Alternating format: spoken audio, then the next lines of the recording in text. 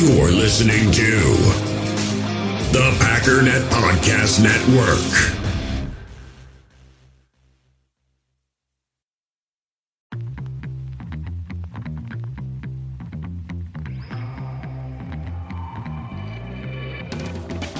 Ladies and gentlemen, let me ask you a question.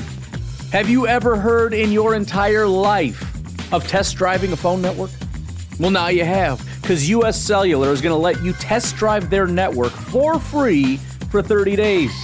So, anywhere you go where you got some dead spots, where your service isn't super strong, you're trying to listen to the podcast and it drops out when you go here because you got no internet service anymore, real simple. Just whip out your phone, do a little beep boop bop boop. That's you pushing the buttons to go to the right place. And you can get the app and try it out for yourself. So go ahead and test drive US Cellular's award winning network free for 30 days. That's US Cellular, built for us. Terms apply, awards based on open signal independent data. So go to uscellular.com for all the details.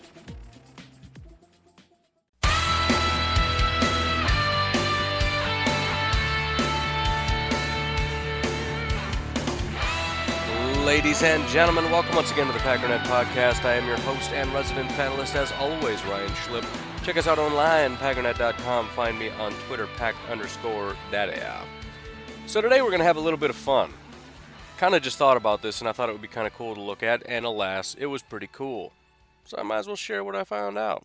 What I want to do is I want to look back at um, the entirety of the PFF era and look at the best and worst contributors for the Green Bay Packers of all time.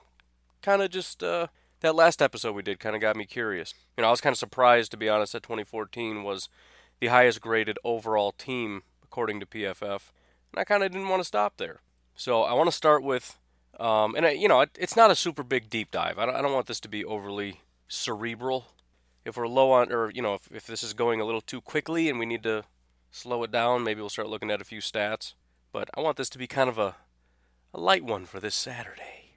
So, as always, uh, the one final thing I'd like to remind you of, the only thing I'd like to remind you of today iTunes reviews. Five more gets us to 205 star iTunes reviews. After that, I don't care. I'm tired of kicking and screaming and dragging, and you're tired of hearing me do it. So, let's get five more. I'm going to give away a Pro Football Focus subscription so you can kind of play. Well, actually you can't do this because it's not an elite subscription, but it's still a subscription and it's a free thing and you should enjoy that. Otherwise, if there's anything else you'd like to know, be sure to check the uh, description of the show. There is a link of links as well as a phone number where you can text and call if you'd like to send in a question. Otherwise, let's take a break. And when we come back, we're going to start with special teams because I want to go from least interesting to most interesting. Be right back.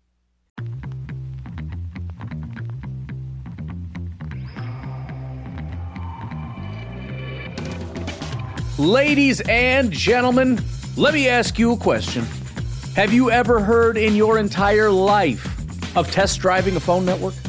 Well, now you have, because US Cellular is going to let you test drive their network for free for 30 days. So, anywhere you go where you got some dead spots, where your service isn't super strong, you're trying to listen to the podcast and it drops out when you go here because you got no internet service anymore, real simple. Just whip out your phone do a little beep boop bop boop. That's you pushing the buttons to go to the right place. And you can get the app and try it out for yourself. So go ahead and test drive US Cellular's award winning network free for 30 days. That's US Cellular, built for us. Terms apply, awards based on open signal independent data. So go to uscellular.com for all the details. So special teams doesn't go back quite as far. I think it goes to about 2012, 2013, somewhere in there. There are also is not it's it's not very common. Maybe for some teams it is, but from what I've seen looking at other teams' special teams units, very rarely are there good players. Right? At least as far as their grading goes, it's hard to get a good grade on special teams. Usually there will be maybe one if a team is pretty solid. Like I think I looked back at Miami um, back when our our uh, uh, what's his name, Rizzi was there. I think they had like two, something like that, two or three. But looking at special teams, there are three components there's the kicking, there's the returning, and then there's all the other stuff, the blocking and tackling. So, looking at blocking and tackling, from 2013 to 2018, there are four total contributors that had a grade of 80 or higher. 80, according to Pro Football Focus, is very good.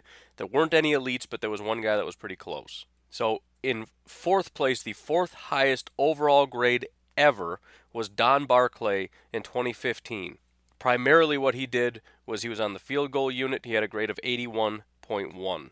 Just a little ahead of that at 81.6 was a guy that I really, really liked that did not quite pan out, had a pretty good rookie season. But, anyways, Mr. Quinten Rollins in 2017 had the third highest ever special teams grade. He did a few different things, but primarily his, his what he spent most of his snaps on was kick coverage. A little bit of a jump, and this shouldn't surprise you. Part, part of the fun, by the way, is to be to maybe maybe pause it before we get going to try to think who it might be.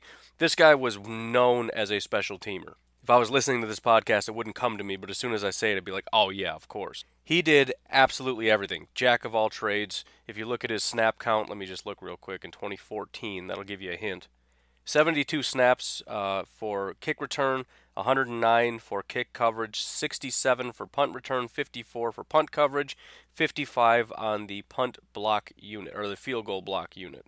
The only thing he didn't do was field goal kick, but he had 357 snaps on special teams, second only to Sean Richardson, who had 358. So basically every single special teams snap that there was. Um, by the way, this was actually a really good year, 2014. There are um, good or higher. You got Brad Jones, Datone Jones, Casey Hayward, Tramon Williams, and Jayrone Elliott all had 70s or higher. However, the second highest ever grade is Mr. Jarrett Bush. He had 13 tackles, three missed tackles, and one penalty on the season most tackles of anybody um, in 2014. And then finally, and a little bit surprising, and it's kind of a small uh, sample size, I tried to keep the snaps uh, to a certain level, but I thought it was impressive enough that I wanted to add it, and it wasn't such a small number that it was irrelevant.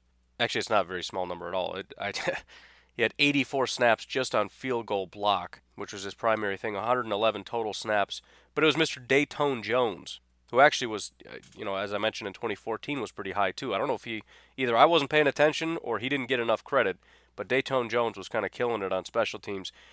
Honorable mention, and the only reason he's not here, and I think Davante also had a pretty high grade one year, but it's very small sample size. Um, in 2013, six total snaps on special teams. All six were uh, kick return, but with an 88.2 overall grade. Mr. Jordy Nelson, little little little tidbit for you. Looking at kicking, um, only three, all three obviously were Mason Crosby. Zero punters have ever had a good grade. In fact, I think they're all pretty terrible. um, and no grade has been in the 80s. All three of these grades are in the 70s, and Crosby has not been in this since 2016, which was his lowest of the three. Um, in 2016, he had a grade of 70.1, just barely getting into the good category. And this, by the way, is his field goal. So, so the way that they break it down, they have field goals, kickoffs, and punting. Um, none of the kickoffs or punting. So all three of these grades are Mason Crosby's field goal attempts. This year, and I think extra points count too, he was 54 of 57, so 94.7% on extra points. He was one for one inside of 19 yards. He was six for six in inside of uh, you know from 20 to 29 yards. 14 of 16 from 30 to 39. 5 of 7 from 40 to 49, and 3 of 4 from 50 or more yards. He was 54, or excuse me, 29 of 34, 85.3% uh, field goal completion. So pretty good. Missing two in the 30 yard range isn't fantastic, but you know, whatever. The next highest grade was the year prior in 2015. Mason Crosby had a grade of 75.5. He was 41 of 41. He hit every single extra point, 100%. He was one for one inside of 19 yards, nine for nine uh, in the 20 yard range, five for five inside of the 30 yard range, nine of 12, 75% in the 40 yard range, and four of five from 50 yards out. 28 of 32 overall, didn't miss a single kick under 40 yards. That's pretty good, man. But it was not his best year. His highest graded year was actually in 2013, where he had a grade of 76.2. He was 44 of 44 extra points, one for one inside of uh, under 20, 15 of 15 under 30, 8 of 8 in the 30 yard range, 6 of 8 in the 40 yard range, and 5 of 7 in the 50 yard range. Excuse me, 50 plus, but I'm sure it was in the 50s. I don't think he hit any 60s. 35 of 39, 89.7%. Didn't miss a single kick under 40 yards. So it's a little bit discouraging too when you look at it because you know I want to blame the the special teams unit or whatever, but if you look at it, 2013 was his best year, then 2015, then 2016, which was his last you know I guess good year. 2017 he was graded at 55.2, which is you know below average. 33 of 35 for extra points, um, 8 of 8 inside of 20, only 2 of 4, 50% in the 30 yard range, 4 of 4 from uh, 40 yards out, and then 1 of 3 from 50 plus. And then in uh, 2018, 53.7, even a slight dip, again below average. 34 of 36 for uh, extra points, 4 of 4 inside of 20, 10 of 11 in, uh, in the 30 yard range, 11 of 15 in the 40 yard range, 5 of 7 from 50 plus. So hopefully he can rebound a little bit, but you kind of it, it kind of changes my thought process as far as come on man, it's Mason Crosby, he's awesome. Obviously Ficken's not going to take his spot. Nobody's taking his spot. He's going to remain. But you kind of look at it, 2013 was his best year. 2016 was kind of his last good year and it's been kind of down since then. So I am hoping for a rebound, but you can kind of see it and say the Packers can see the trend and the Packers can see his price tag and the Packers can see his age, and it would not be surprising if they're saying, I don't think it's that serious of a thing because it's just Ficken. Look at what the Bears are doing. They're bringing in like six guys, right? That's a dire. A lot of teams are in dire situations. The Packers are not one of them. But it kind of just changed my perspective enough to where I'm looking at it and going, eh, this could be real. Like we might actually be looking to actually want to replace him because he's, he's 27 and 20, 2017 and 2018 are not worth his price tag. Bottom line, right? I mean, if you're kicking like you were in 2016, I'll pay the five million bucks. I'm not paying five million dollars for you know 94% on extra points and 81% on field goals. Just not not really doing that. But then um, finally, for special teams looking at returns, there are five grades since 2013 that are 70s and 80s, so 70s up. And this is uh, for kick return as well as punt return. Um, the fifth best ever is Trevor Davis's kick return ability in 2017. He had a grade of 72.5. 31 total returns for 707 yards. His longest was a 34 yard return. Yards per attempt 22.8. That's pretty good. Now, the funny thing about it is, and I've mentioned this before, if your average is 22.8, as good as that is, when they kick it into the end zone, you always take a knee. Which is kind of funny because I'm willing to bet the NFL kind of knew what this number was there's probably several players that are kind of in that 21, 22, 23 yards per return average. So they look at it and say if we if we keep it at 20, everybody's bringing it out. If we bump it to 25, the numbers don't support it. Nobody's going to bring it out because almost nobody is returning for 25 yards or more per attempt.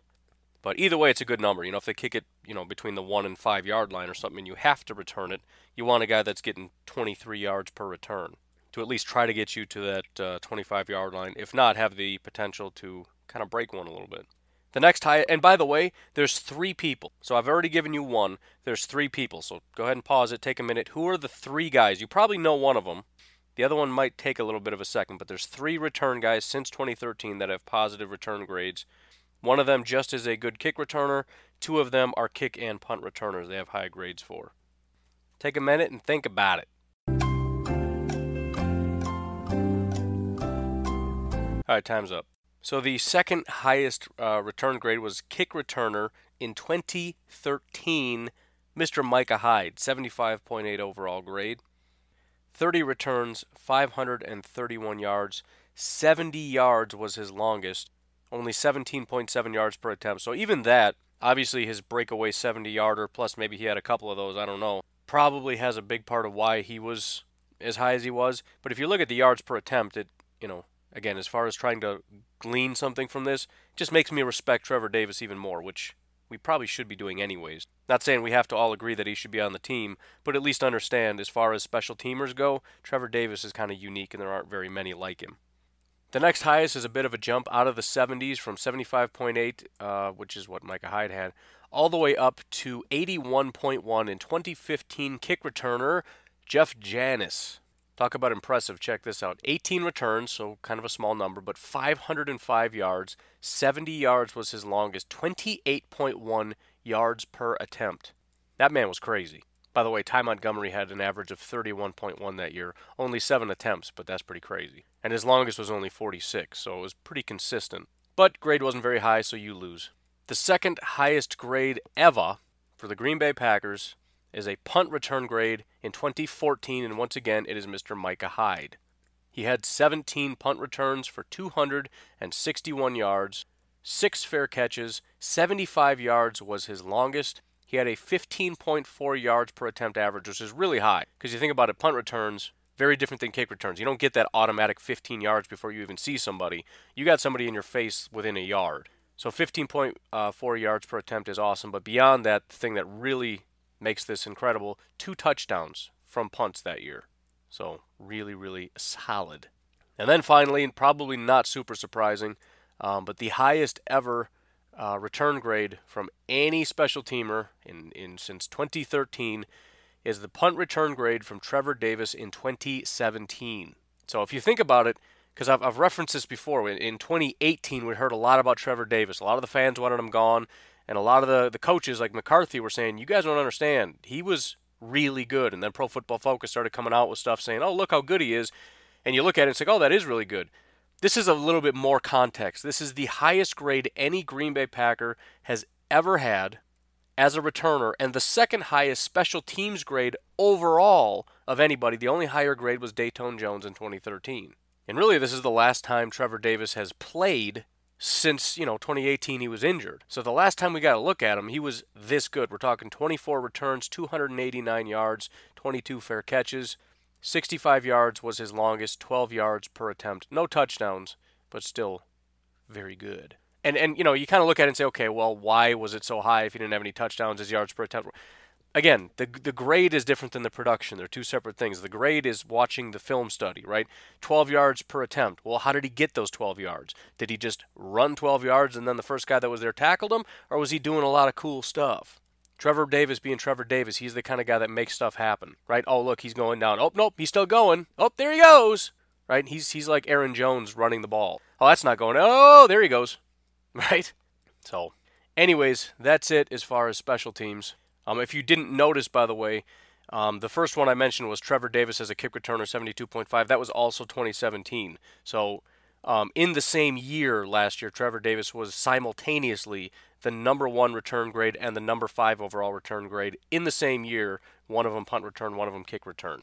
And that would be the third highest kick return grade ever, the number one highest punt return grade ever for the Green Bay Packers. So Davis is not just pretty good, he's irreplaceably good. So the question is in regard to Davis, assuming that this wasn't a fluke, which I don't think it was, do we care that much? D- does does this matter enough that we want to keep him or are we okay getting rid of him, replacing him with somebody that just can't do it and and just moving on because we want somebody else on the roster. And, and in my mind it really is similar to getting rid of Aaron Jones and, and putting in Jamaal Williams assuming, let's just say, the running back position didn't matter hardly at all. It's like saying we don't really care that much about the run game. We would rather have an extra wide receiver on the roster, whatever. So we're going to get rid of um, Aaron Jones and just let somebody like Jamaal take over that spot. Right? There's good enough, and then there's special. Marquez doing kick returns is good enough. In other words, he can probably do just about what anybody else in the NFL can do, which is nothing. Trevor Davis is special. That's the question. And again, I don't care how you answer it. I'm just telling you that's that's the decision we have to make. How important is that returning ability? For me, as I've said, I don't mind designating a spot for it. We have a spot for long snapper, we have a spot for kicker, we have a spot for punter. I wouldn't mind having a spot for return man. And he doesn't have to focus on being a wide receiver. He spends all day long learning how to return kicks and punts, right? Learning how to catch the ball and not muff it. Spend all your time with the special team. I don't care that much because the number six wide receiver just isn't that important in my mind. The guy that plays 52 snaps and doesn't do hardly anything. But again, that's my opinion. I don't mind how you want to answer that. But uh, we're going to take a break, and then I want to run through and look at some of the worst players over the years, and then come back finally with the. Uh, I think we're going to go with 30 best players. It actually just worked out that way. I picked a random number of 87, and it comes out to exactly 30 players that have been 87 or higher since, what is it, 2000 and. Looks like 2006, I think, is the last one. There is actually grades for 1996, but it's not a complete season. I think they went back and graded either the Super Bowl that year, which the Packers were obviously in, or maybe it was the playoffs during that time. Nobody had super high grades, so I mean, if you're interested, just ask and I'll tell you what the grades were. But we're not going to go down that road. So this will be from 2006 on. But anyways, take a break. We'll be right back. All right, so starting in 2006, and this is actually kind of hilarious. We're not going to do special teams because who cares? Um, but I just want to look at offense and defense and look at the worst performers starting in 2006 until the current era. And the reason it's funny is because in 2006, the worst player, guy who only played two games, 36 total snaps, take a guess who it was, with a 30.3 overall grade, absolutely horrible. The next lowest was 42, is Aaron Rodgers. Aaron Rodgers came in uh, for two games. Week four against Philadelphia, he played 11 total snaps, four of them passing, seven of them run blocking, which I don't think he was actually blocking. They were probably just run plays because you got your backup in, so we're mostly just going to hand the ball off. But uh, against Philadelphia, he passed the ball, let's see, he was two of three for 14 yards, 4.7 yards per attempt, which is a very low number. And then week 11 was against the New England Patriots. He had 17 total dropbacks. He completed 4 of 12, 33.3% for 32 yards, 2.7 yards average. That's real bad, man. On defense that year, uh, the only guy that really stood out was Abdul Hodge, linebacker, had a grade of 42.1. Uh, 2007, looking at the defense, Nobody really down in the 30s, 20s, or anything like that. Had a bunch of guys in the 40s. The lowest was Frank Walker, cornerback, but the lowest grade of anybody with a significant amount of snaps was probably not super surprising, but Jarrett Bush. Again, I mentioned great special teamer, but not the greatest cornerback on the planet. Um, flipping over to offense, the guy with the lowest grade and actually a decent amount of snaps, and I'll be honest, I don't know who this is. There's a lot of names I don't remember. Well, a lot of these guys are playing in one game or whatever. But he played in 10 games, his name is Junius Coston. He started the season um, weeks 1 through 5 as a right guard, and then he was gone. Then he came back in weeks 13 through 17 as primarily a right guard and then switched to left guard. I don't know if he was a backup that just came in or what, but um, not a great effort there, Junius.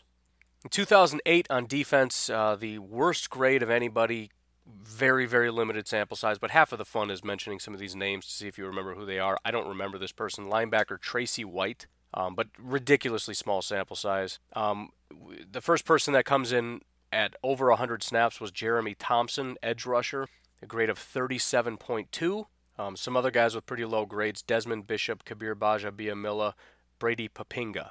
I mean, you, you, can keep going down the list. There's a lot of names that are just not good this year. Um, AJ Hawk, Aaron Kampman, Ryan Pickett, Patrick Lee, uh, Johnny Jolly, Charlie Peprah, um, all of them came in under 60, so below average or worse. On offense, the one guy that stood out, again, small sample size, but it's funny to bring it up, was Matt Flynn. So Matt Flynn, very similar to Aaron Rodgers, comes in presumably to replace the starter. He played um, two snaps in week two, seven in week four, and one snap in week 12. Overall grade of 32.9. Other than that, the two guys that were, uh, it's actually a pretty good year overall. There's only three players that were under 60. Just goes to show how good of a team this was. But Ryan Grant, uh, 50.5, and DeShawn Wynn, 51.1.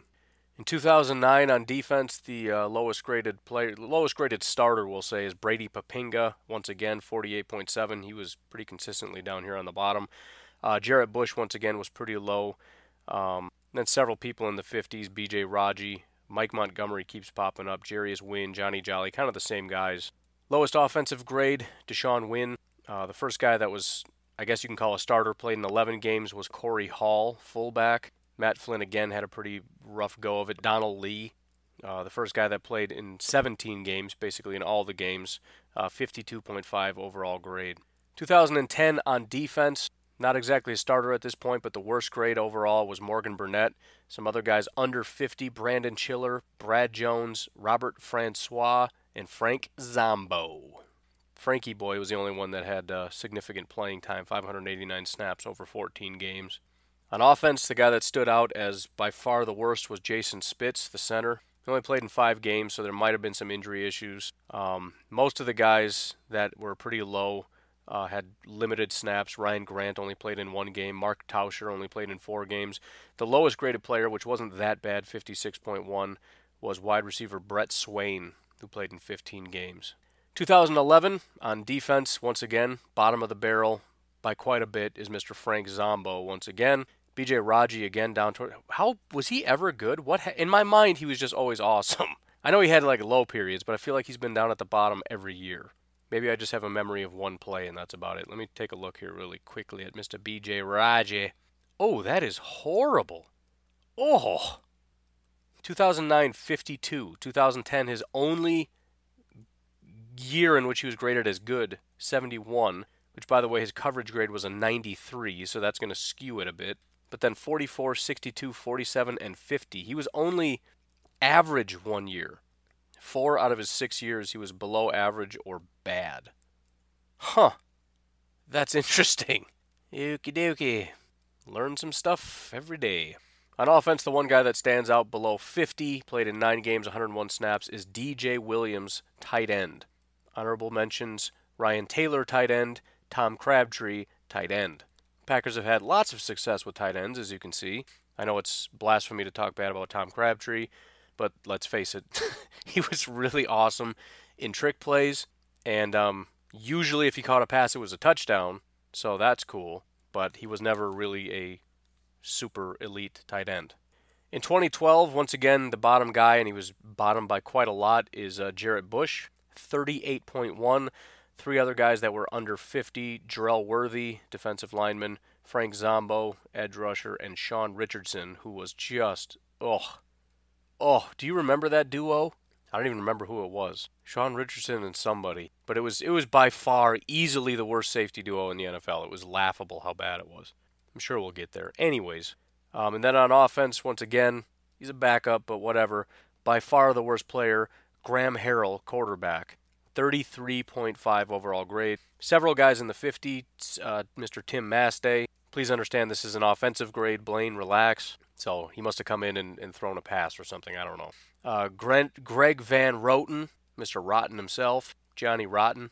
Then you had Jarrett Boykin, Donald Driver, Jeremy Ross, uh, Mason Crosby must have been another trick play. They were going crazy, I guess. And then, yes, once again, Tom Crabtree. My family is descending into chaos, which is great. 2013, um, oh my goodness. the defense. Oh, there he is, Jerron McMillian. That's who I was thinking of, yes. The worst player this year, and there are a lot of really bad players. Two players in the 20s. The worst player this year, Jerron McMillian, 28.3 and then Mr. Robert Francois, linebacker, 28.6. It's my background music. Um, and then there were one, two, three, four, five, six players that were in the 40s, including Datone Jones, John Kuhn, who kind of doesn't count, Chris Harper, who's a wide receiver, Jake Stoneburner, tight end. So none of these matter. But then B.J. Raji and Nate Palmer. So pretty ugly, especially Jerron McMillian and uh, Robert Francois. And Francois only played 12 snaps. So really, we're just talking about Jerron McMillian being the worst player in the history of the world. Oh, oh, that was brutal. And then, hilariously, I believe, if I'm not mistaken, after this year, the Bears picked up Jerron McMillian. it was funny because everybody on the planet, outside of even Green Bay, people knew that Jerron McMillian was just a joke. And then the Bears pick him up, and it's like, you guys are just dummies. I mean, even even even if the plan was, oh, we're going to get him and get all the secrets. What secrets does Jerron McMillian know? He doesn't know how to play. He doesn't know the defense. What are you doing? What is in your mind right now? Just give me a tour real quick of what's going on in your brain. Bunch of geniuses. Offense much better. Nobody was in the 40s or below. Several people in the 50s. A couple of the highlights: uh, Ryan Taylor, tight end, big shocker. Once again, tight ends. Uh, Jonathan Franklin, who uh, actually had a very good pass blocking and a decent receiving grade, but his running grade wasn't super hot. Um, primarily, he was in the in the passing game as a receiver. 30 of his snaps actually came as a receiver out of 62. 12 pass blocking, 19 running, and one run blocking. So it's it's really upsetting what happened to Jonathan Franklin. I think that would have been a really awesome duo between him and Eddie Lacy. But um, anyways, um, the only other guy with some significant time that was pretty horrible would have been Marshall Newhouse. Again, not surprising anybody playing tackle. 2014 bottom of the barrel was Mr. Brad Jones. Linebacker is another thing we've had problems with. We just never really have tried. I mean, AJ Hawk obviously was a, a big swing. I won't say swing and a miss because I don't want to take it there, but it was a big swing that we took. But in general, especially trying to get that second linebacker, it's like, man, we're just not going to put effort into this. We're going to go one fourth round guy, and then we're just going to leave it with undrafted free agents and see how that goes. Well, here's how it goes you get Brad Jones at a 35 overall grade. His run defense grade as a linebacker, 28.9. His tackling as a linebacker, 32.9. I feel like if you're good at stuff as a linebacker, it's like how to tackle people. Like if I want to learn how to tackle, I'm going to go find a linebacker. That's just what I'm going to do, right? I want to talk to Ray Lewis or something, which makes sense, but just make sure when you find a linebacker, his name isn't Brad Jones. See, I talk big, but I, Brad Jones would destroy me. I could just see, I, I like one of those social experiment type videos, you know, those gotcha videos where we pretend we're really good people and we go find bad people and expose them as bad people so that we can feel good about pretending we're good people even though we're bad people. You know the videos I'm talking about? They would listen to this podcast and then Brad Jones would track me down somewhere like coming out of a McDonald's and then he would spear me and my nuggets would go flying and I would just be furious but not do anything because it's Brad Jones and he's bigger than me. Except tell him that I want him to replace my nuggets or I'm calling the police. That's probably how that would go. I don't know. But still, from football standards, he was uh, he was kind of garbage. The other notable, not very good player Luther Robinson along the defensive line. Offensive side, I'll mention it because it's worth mentioning, even though it's not really worth mentioning. Julius Peppers, again, this is offense. He had one grade on offense and it wasn't great. Other guys that weren't really stepping up, Mr. Lane Taylor, um, Derek Sherrod, Jarrett Boykin, and Matt Flynn, all of which had grades under 50 in the bad category. Getting a little closer now, 2015, the guy that stands out is Nate Palmer, once again, a linebacker because this is just how it goes in Green Bay. You've got one guy that's not great and one guy that's horrible. Fortunately, now we have Blake, who's actually pretty good, but he's next to somebody that is arguably the worst one so far. But I'm sure he'll get better. I'm just saying. Uh, a few other notables Demetri Goodson, Bruce Gaston, and Sam Barrington. For those keeping score, Sam Barrington is a linebacker.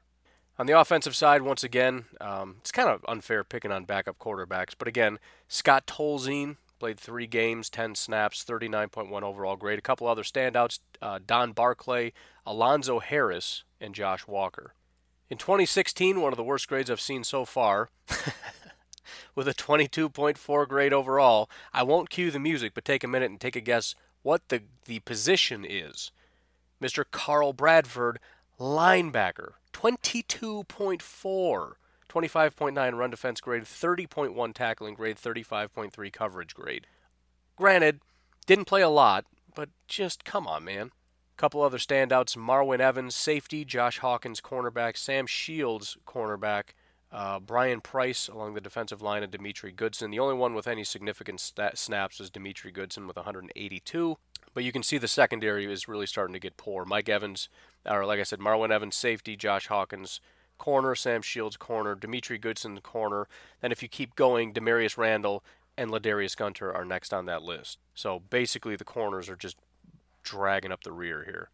In 2017, you had two guys under 50 overall. Quinten Rollins with 139 total snaps, so it's not a small sample size. This is back when I was saying Quinten's going to be. I don't know. I might I might have given up on him at this point. I think it was the year prior that I was all excited he's going to have a bounce back year. After that was Montravius Adams. It was his rookie year, as we know, did not do very well. Continuing on, Kevin King, because I can't do a podcast without taking some kind of a swipe. But I'm not saying, I'm just reading. We'll quickly move on here. Third worst player, Kevin King. Fourth worst, Josh Jones. And then uh, Ricky Jean, Francois, Kentrell Brice, Quinton Dial, Marwin Evans. You get the you get the picture here. You already know, man. This is recent history. Um, on offense, it, it, it I hate doing this because some of these guys I really like and I don't want to accept it. Kind of like, well, I won't mention his name anymore, but you know, you have those guys too. But for me, like for for one, BJ Raji was one that I, I guess I didn't understand that he wasn't that great. I kind of feel like, well, he was hurt and stuff, and he was fine. I don't know. But I like the backup running backs. All these guys that are like undrafted free agents, every time they come out, it's like, oh yeah. The worst, and it's only 14 snaps, two games. But I really like this guy, and I really wanted him to, to be something. And then there were a bunch of injury issues and everything else. But Devante Mays, 27.9. Now, obviously, we remember Devante Mays basically played. What did he take? Uh, how many handoffs did he have? Four handoffs. I think he has like three fumbles or something. It's got to be a world record that'll never be broken. 75% fumble rate. I got to double check that. All right, I lied. It was only two fumbles, but still, in week 11, three attempts, negative one yard, two fumbles. Wow. 66% in that game. In week 17, he ran the ball once for two yards, and that was the end of his career. That that hurts me, man. I like Davante. After that, the only other player under 50 was Lance Kendricks at tight end. And then finally, 2018, we've got several players that are not very good. Bringing up the rear, Davon House, 28.8, Eddie Pleasant, 34.2, Oren Burks, 44, Tony Brown, 48.8. Since it was last year, we'll do a couple honorable mentions. Raven Greene, Kentrell Brice, Nick Perry, Korey Toomer, Antonio Morrison, Jermaine Whitehead, and Bashaud Breeland. These guys are bringing up the back end of that. And again, you know, there's several names here that are seen as players that people like. Oren Burks. I think we understand it wasn't great, but I don't know if we understand how bad it was. Tony Brown. Everybody thinks he was great. I admit, I like Tony Brown. I like the energy. I like the intensity. That doesn't make you a good football player. Raven Greene. Everybody loves Raven Greene. No idea why. So, anyways, we'll see what happens. But that was uh, that was that. And then finally, flipping over to the offense, the worst player of anybody, not surprisingly. And again, we're picking on another quarterback here. But DeShone Kizer, three games, 62 snaps, 34.2 overall grade. Uh, a couple guys under 50, Lucas Patrick and Byron Bell. Byron Bell isn't going to surprise anybody. Honorable mentions Marcedes Lewis, J'Mon Moore, Danny Vitale. There's a name right there that everybody loves. Kapri Bibbs, J.K. Scott. That's a guy that I like that I want to. I just refuse to admit is not good. And uh, let's see, Jay Kumerow. So, I'm just hitting everybody today, man. I'm stepping on everybody's toes, including my own. But, anyways, let's take our final break and then we'll come back and look at the top 30 players that the Green Bay Packers have ever had. That is since 2006 and according to PFF. We'll be right back. So, this is going to be kind of a speed round, I guess. I don't want to spend a ton of time on this. Um, obviously, there's a lot of repeats, but again, take some time. I was actually surprised a few people didn't actually make the list. Um, guys like Jordy Nelson were never on this list. Again, the cutoff for me was 87, which is ridiculously high, right? Remember, I was going down into the 70s for special teams and stuff. So there have been some really, really high quality players. Jordy Nelson was one of them. Um, remember, 80 is very good.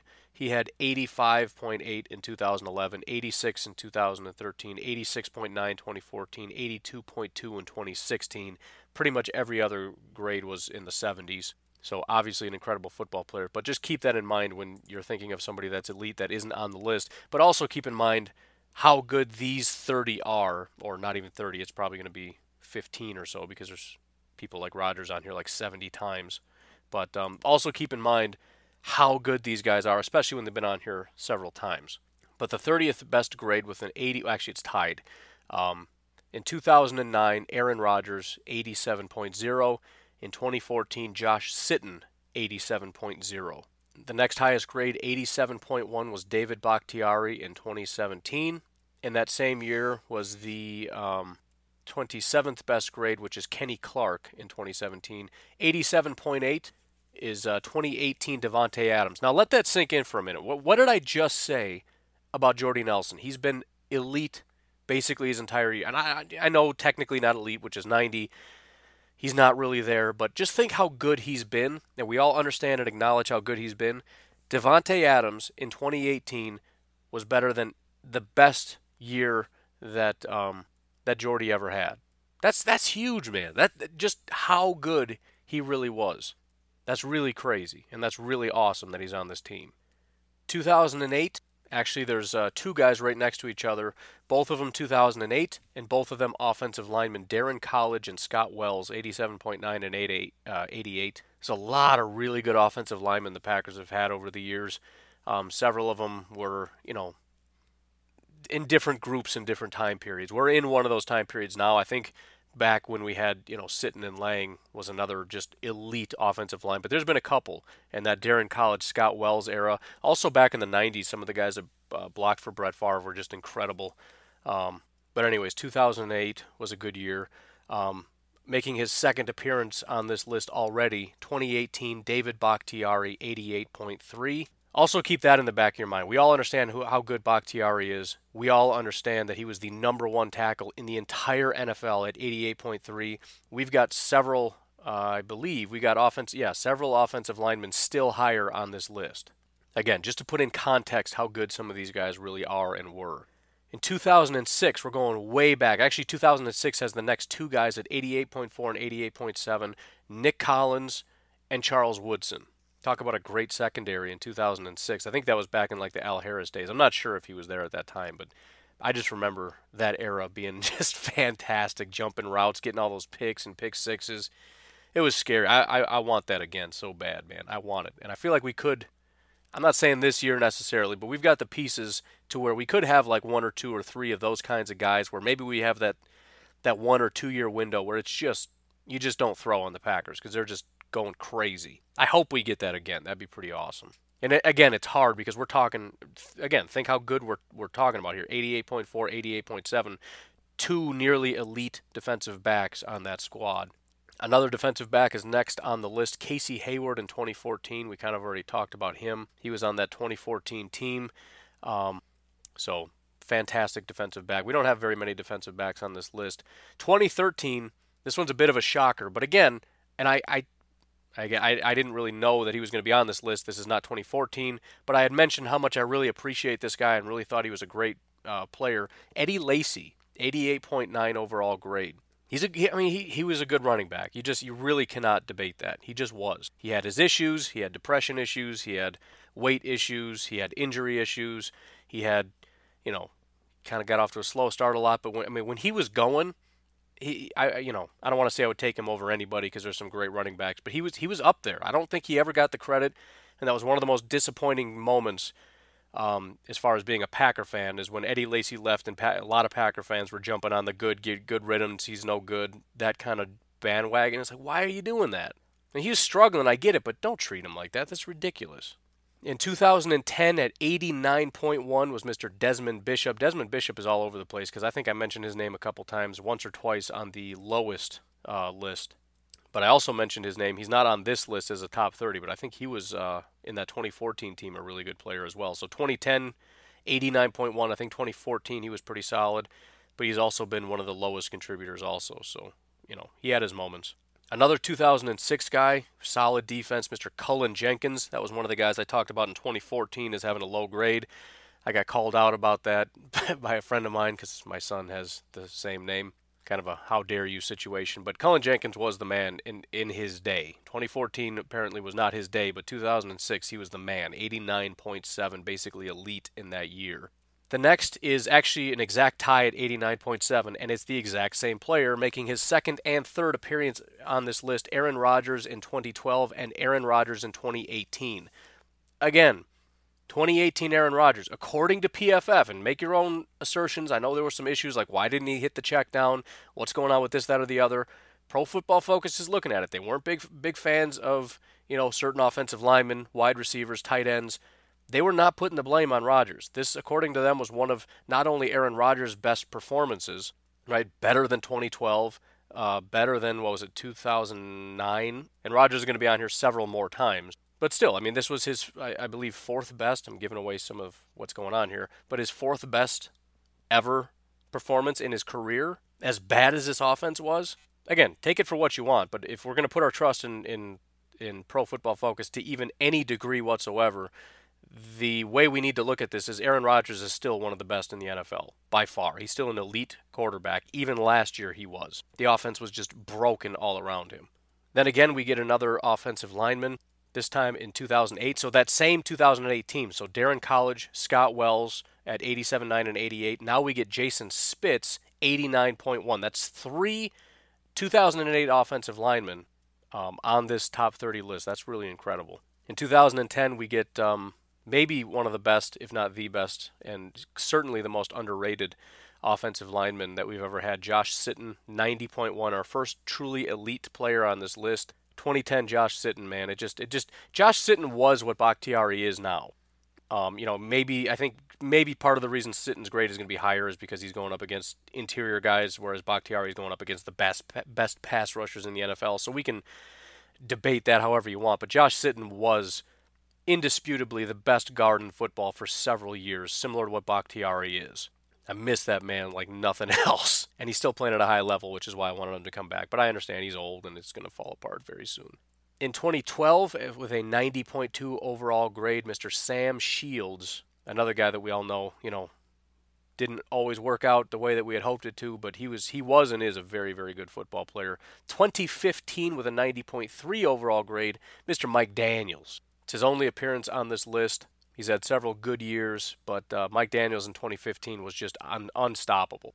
Again, bear in mind, 13. Actually, you know what? I lied because the top mark, so it's actually only 29 players. I forgot I had the header up there at the top in the first, you know, row. But 12 players since 2006, only 12 have had elite grades. Mike Daniels in 2015, 10th best overall player ever since 2006.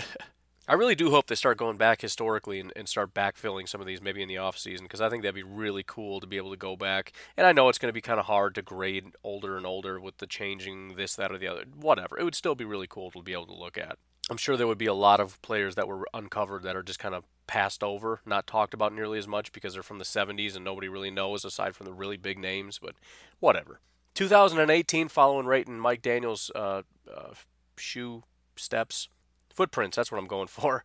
90.5, almost the exact same grade as Mike Daniels in 2015, but it's the 2018 version of Kenny Clark, just picking up right where Mike Daniels left off. Fantastic football player, um, best defensive lineman on this list, and as young as he is, it's just extremely exciting what his upside is. In uh, 2013, making his second appearance is once again Josh Sitton, this time a 90.7. Uh, again, this is 2013, so two years he had an elite grade as a left guard for the Green Bay Packers. The seventh highest grade, and basically this is, we've got uh, six more, and four of them, I'm sorry, seven more, and four of them are Aaron Rodgers. Which again, bear in mind what that means. They don't, they don't, it's not going to be slanted toward Aaron Rodgers because he's a quarterback. I can show you lots of quarterbacks who have horrible grades, including Aaron Rodgers in 2009, who was graded as the worst. It's not because he's a quarterback, it's because he's that good. When I talk about Jordy Nelson and how good he was, Mike Daniels, Kenny Clark, Josh Sitton, Cullen Jenkins, uh, Charles Woodson, all these, Aaron Rodgers is better. But in 2016, the 2016 version of Aaron Rodgers, 91.4. In 2012, Mr. Casey Hayward coming in at 91.5. Another guy that just absolutely out of his mind for a very, very limited. He's one of those guys that if he had had that, you know, 2012 ish type season for five, six, seven years or whatever, he would be just, you know, we're talking Pro Bowl, Hall of Fame, all that, everything. But similar to Sam Shields, it just didn't work out as consistently and for as long as you would hope. In 2015, TJ Lang. Now, I've, I've always liked TJ Lang, and I knew he was a very good right guard, and I would never say that he was better than Josh Sitton over the course of his career. But we're talking about the, let's see, fifth best ever ever, offensive or defensive grade ever for the Green Bay Packers, TJ Lang in 2015. Better than any year Josh Sitton, David Bakhtiari, Corey Linsley have ever had ever. That's really impressive. And then in 2009, the fourth best grade and the only, or the last non Aaron Rodgers grade. Yes, that's right. The top three grades are all Aaron Rodgers. The guy's a freak. Charles Woodson in 2009 with a 91.7 overall grade. Charles Woodson, obviously, not very debatable as far as how good he is and has been in his career. But in 2009, the guy was just lights out. So finally, the last three grades, and again, this just goes to show how incredible he is. You know, you, just just look at what we've talked about over the years. Sitton, Shields, Clark, not one of them can touch Aaron Rodgers uh, in terms of frequency, consistency, and level of play. That highest non Rodgers grade was Charles Woodson in 2009 at 91.7. In 2010, 91.9, Aaron Rodgers. Then it jumps from 91.9 to 93, which is ridiculous and not super surprising. It's the 2011 version of Aaron Rodgers, which was just annihilate everybody. And then had 93.4, the greatest performance since 2006 for any Green Bay Packer was Aaron Rodgers in 2014, the year in which I said that was the greatest year. And I, I kind of want to go watch Game Pass and go look at that because I don't remember. Like I remember 2010 and I remember 2011. 2014 doesn't really stick out in my mind for any reason whatsoever. So I'm gonna have to go back and watch that because apparently, and basically it's like tied with 2011, and we remember how good. Apparently, Aaron Rodgers was on that level but the highest graded Packers performances, the three highest ever 2010 Rodgers, 2011 Rodgers, 2014 Rodgers. So it's, it's pretty cool, man. This is a cool list. It's cool to go back and look at some of these guys. Some guys that just kind of flashed in for a minute, like Bishop and Eddie Lacy and, you know, Colledge and Wells. And then some other just legends. You know, David Bakhtiari. And actually, I lied about Sitton. He was on here three times. I forgot his, about his 2014 um, edition here. but you know, Sitton, uh, Woodson was only on the list once, but you know, legend. So, anyways, I really thought it was pretty cool. You folks have yourselves a fantastic rest of your Saturday. I will talk to you tomorrow. Have a good one.